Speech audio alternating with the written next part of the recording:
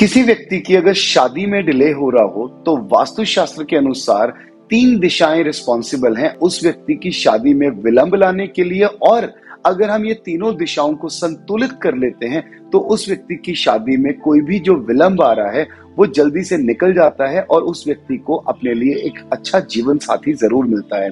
इसके लिए जो सबसे पहली दिशा रिस्पॉन्सिबल है, वो है पूर्व की दिशा, यानी कि ईस्ट डायरेक्शन ईस्ट डायरेक्शन हमारा सही लोगों के साथ जुड़ाव बनाने में हमारी मदद करती है। अगर ईस्ट डायरेक्शन में आपके कोई भी असंतुलन है तो आप उस असंतुलन को दूर करिए और ईस्ट डायरेक्शन में एक उगते हुए सूर्य की तस्वीर को ज़रूर लगाइए।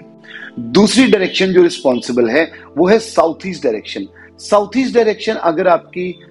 असंतुलित है तो उस जगह पर आप उस असंतुलन को दूर करिए। जैसे कि अगर कोई काला रंग आ जाता है, नीला रंग आ जाता है, कोई टॉयलेट सीट आ जाती है तो इन चीज़ों को आप ट्रीट करिए और साउथ ईस्ट के डायरेक्शन में फ्रेश रेड रोजेस को आप ज़रूर प्लेस करना शुरू करिए और उसे डेली बेसिस पर ज़रूर चेंज करिए। तीसरी डायरेक्शन और जो मेजर डायरेक्शन रिस्पॉन्सिबल है, वो है हमारी साउथ वेस्ट जोन